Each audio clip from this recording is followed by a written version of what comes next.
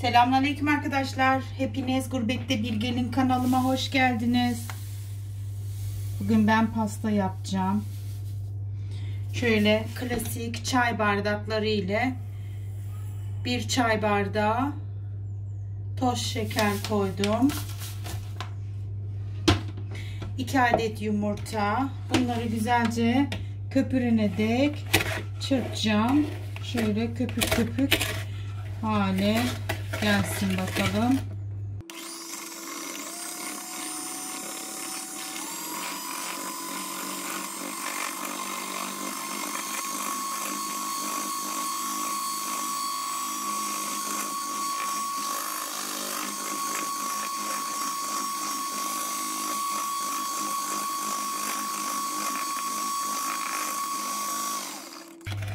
Evet güzelce köpürene kadar mikser yardımıyla çırptım ve içine yine aynı bardak ölçüleriyle bir çay bardağı yazıyor ama ben yarım çay bardağı koyacağım. Çünkü çay bardaklarım büyük ve o kadar yeteceğini düşünüyorum yarım bardağı. Böyle değişik hafif bir pasta yapmak istedim. Ee, yani önce hamuru olacak. Şimdi üzerine süt yine aynı bardaklarla arkadaşlar bir bardak süt döktüm. Şimdi tekrardan bir karıştıralım. Evet. Bu kadardı. Şimdi un ölçüsüne gelirsek iki buçuk e, çay bardağı diyor. Ben yine klasik aynı bardakları kullanacağım. Bakalım denk getirebileceğim mi? Tarifte e, çay bardağı diyor ama küçük çay bardakları da olabilir diye düşündüm. Ben ilk öncelikle 2 çay bardağı döktüm şu klasik bardaklarla. Bir çırpayım kıvamına bakacağım. Ona ama yok koymam lazım fark ediliyor. Yarım bardak daha koyacağım. Demek ki bu çay bardağı doğru bir ölçüymüş. Şöyle iki buçuk çay bardağı oldu. Tekrardan ee, şimdi kabartma tozunu falan da koyayım. Bir paket vanilya şekeri koyacağım.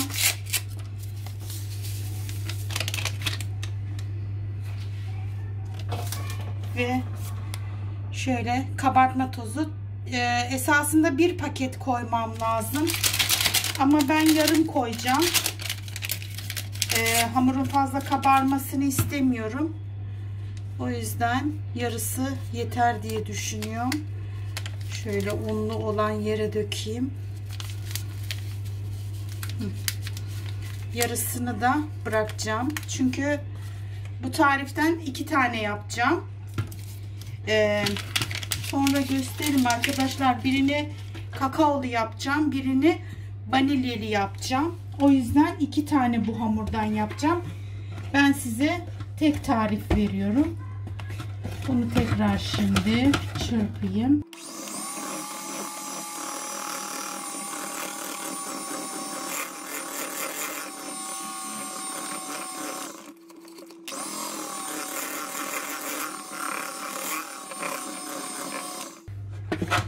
Evet.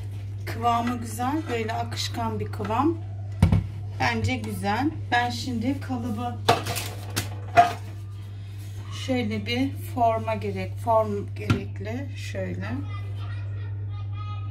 Şimdi ben buna hemen yağ sürüp geliyorum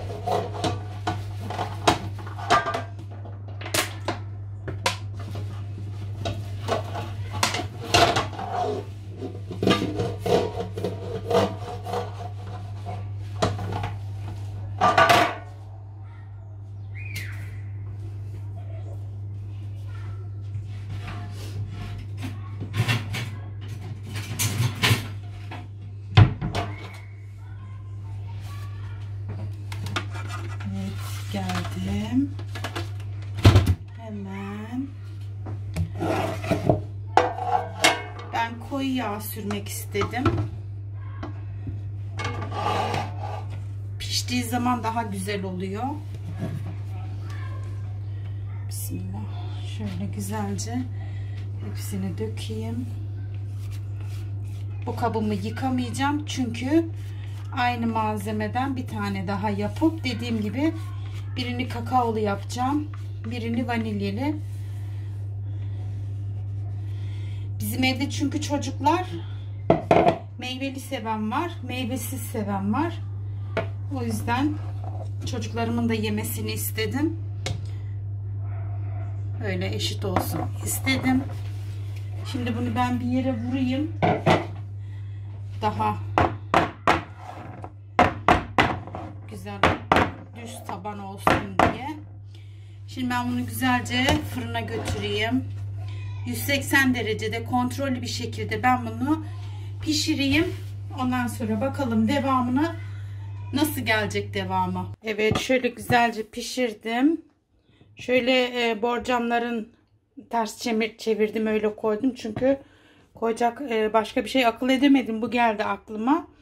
Hmm, büyük servis tabaklarım var ama yetmiyor. Bayağı büyük oldu bunlar.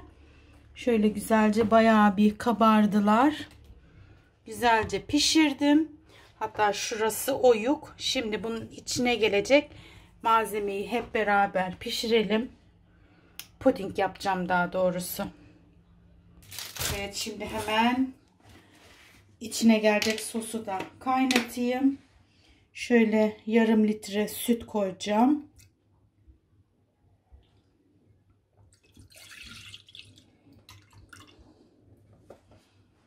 Yarım litre süt ve vanilya puding.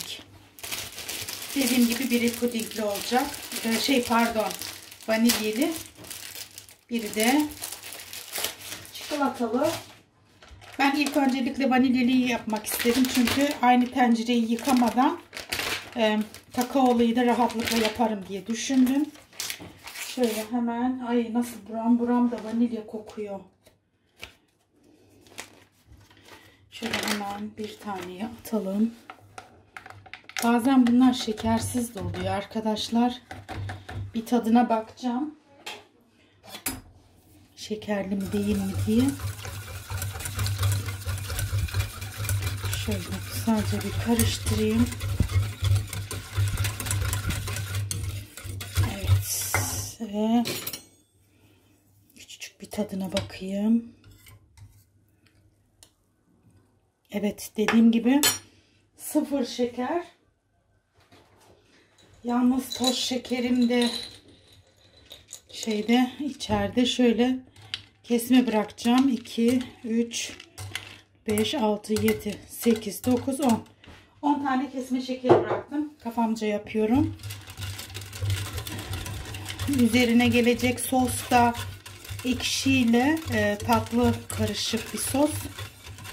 O yüzden puding tatlı olmasını tercih ettim. Arkadaşlar şöyle bir sos aldım. Şundan. Burada roçe grütze diyorlar. Böyle orman meyveleri var içinde. Böyle hazır karışım. Sonra üzerine dökünce daha net gözükür. Ve e, birazcık da bu pastayı arkadaşlar ben kendimce uydurmasyon yani oradan buradan katarak yapıyorum. Hani fikir alarak kendimce yani. Bir de şöyle mascarpone aldım.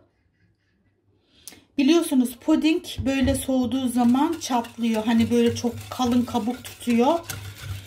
Ee, öyle düşündüm. Ee, öyle kabuklu kalmasın diye e, bu mascarpone'den koyacağım içine. Yarısını koyacağım. Küçük mascarpone. Yarısını buna yarısını da kakaoluya atacağım.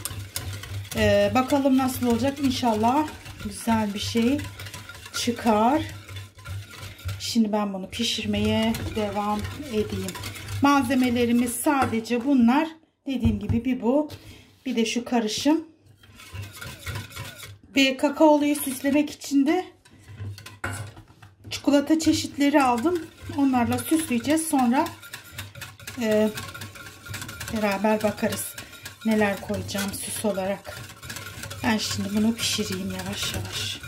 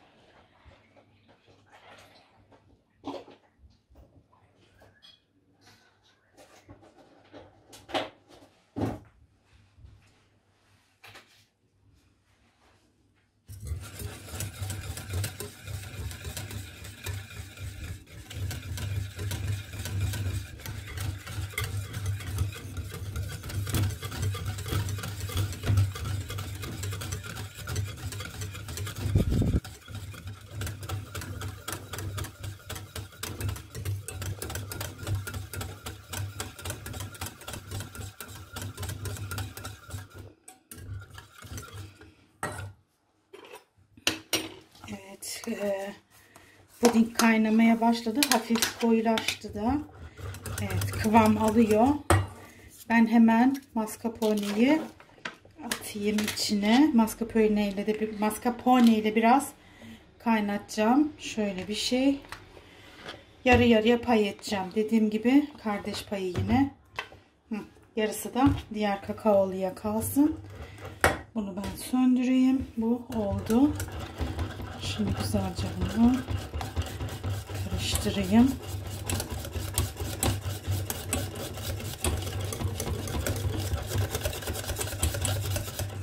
Evet bu hem akışkan yapıyor arkadaşlar bu mascarpone dediğim. Akışkan bir kıvam oluyor böyle katı olmuyor daha demin anlattığım gibi. Güzel böyle kremsi bir tat veriyor. Fark ediliyor mu orada? Şöyle güzel şey. Tamam bu oldu.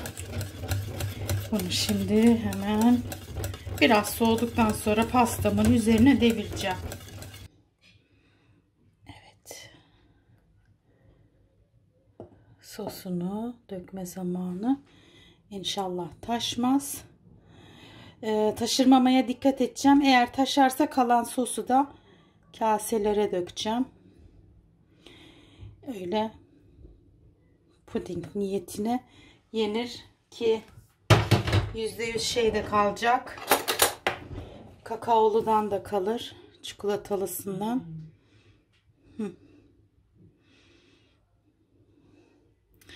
Biraz daha koyarsam taşacak. Evet bu yeter buna. Bunu şimdi donmasını bekleyeyim. Bu donarken ben de diğer kakaoluyu yapayım. Ee, az bir şey kaldı. Onları da böyle kupalara aldım. Şimdi rote grütze ile şu reçel diyorum ben buna ama reçel gibi değil arkadaşlar. Şöyle güzelce. Tabii ki puding dondu.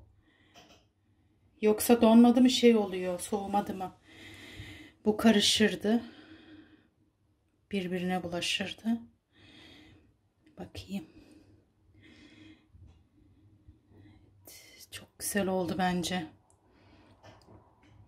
Hem güzel hem kolay hem basit evde olan malzemelerle bence puding olması şart değil hani şey nişastayla da oluyor arkadaşlar. Biliriz. Biliyorsunuzdur ya da hepimiz biliyoruz. Nişastayla da bu pudingi elde edebiliriz. Ama ben hazır kullandım. Elimde var diye. Bunun içinde de vişne, vişne, çilek görüyorum. Bol bol da vişne var şöyle. Yeterli sanırsam fazla da doldurmayayım. Ama şöyle komple üstünü kaplasam daha güzel olur bence. Evet. Yaş pasta gibi oldu. Bence. Kendimiz evde yaş pastamızı yapabiliriz. Bence bu size bir fikir olsun. Belki yapanlarınız vardır yüzde yüz de. Ama sizinle yine paylaşmak istedim. Zaten böyle bir şeye niyet etmiş, niyet ettim yapayım diye.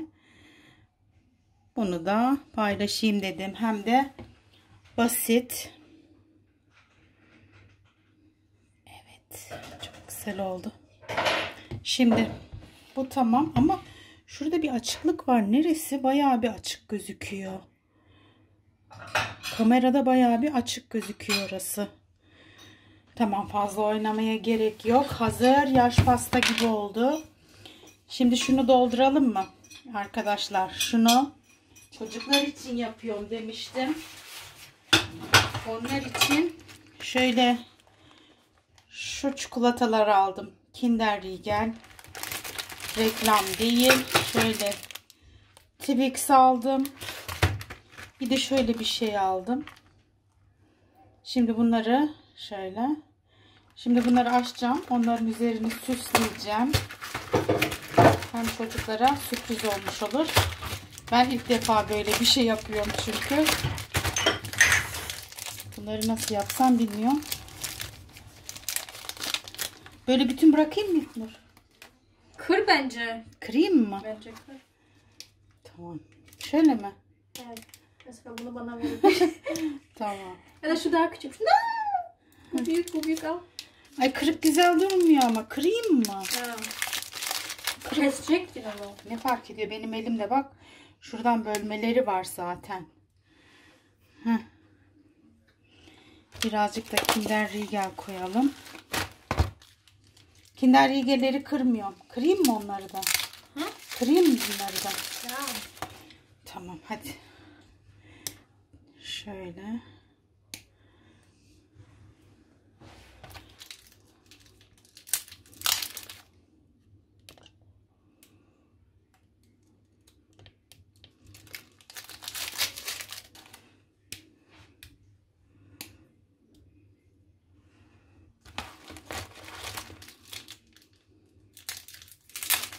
Kinder Riegel'i bol olsun.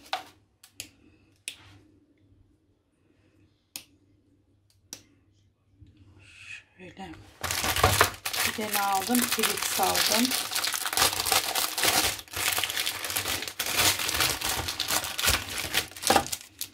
Arkadaşlar sizlere de tavsiye ederim. Bence çocuklarınız çok güzel. Bayıla bayıla yiyecekler. Bunları kırmayacağım. Keşke ilk önce bunları koysaydım. Şöyle yıldız şekli yapsaydım. Değil mi? Ama olsun. Böyle de güzel oldu. Bence. Sizce nasıl oldu? Eğer ki beğendiyseniz bir beğeni bırakabilirsiniz arkadaşlar. Videomu beğendiyseniz. Evet bu kadar yeter çikolatalar. Şunlara hiçbir şey koymayacağım. Onları belki ben yerim. Hani çikolatalı falan olmasın. Kekimin kalınlığı da bayağı güzel oldu. Evet kakaolusu ve vişnelisi. Aynı malzemeyle iki çeşit pasta gösterdim. Bence çok güzel oldu. Sizlere de fikir olsun arkadaşlar. Ee, videomu beğenmeyi unutmayalım. Bir başka videomda inşallah görüşmek üzere. Kendinize iyi bakın. Allah'a emanet olun. Hoşçakalın. Arkadaşlar videoyu kapattım ama tekrardan açtım. Şu kekimin güzelliğini bir görelim dedim. Böyle bir şey oldu. Evet. Sanki cheesecake. Değil mi? Ama cheesecake değil. Ama güzel oldu. Pudingli. Merve'nin cheesecake'i. Şöyle.